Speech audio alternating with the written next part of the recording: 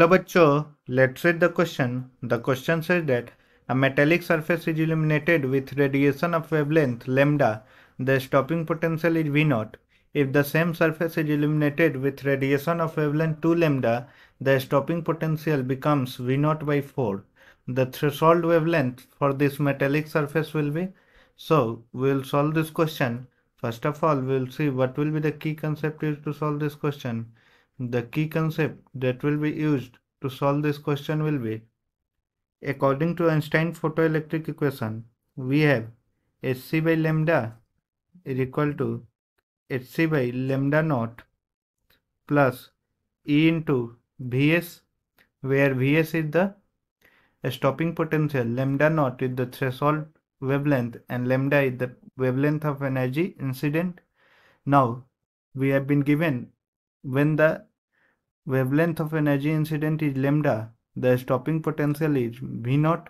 So we will write the first equation that is Hc by lambda is equal to Hc by lambda naught plus E into V naught and in the second equation if the same surface is illuminated with a radiation of wavelength 2 lambda so Hc by 2 lambda will be equal to Hc by lambda naught plus E into V naught by 4.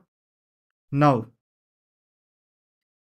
if we subtract equation 2 from equation 1 that is equation 1 minus equation 2 we have Hc by 2 lambda that is equal to E into V naught by 3, 3 into V naught by 4 or we have E into V naught is equal to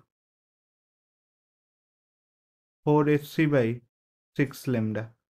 So we will just put the value of E into V naught in equation 1. So we will have Hc by lambda that is equal to Hc by lambda naught plus 4 Hc by 6 lambda that is equal to 2 Hc by 3 lambda.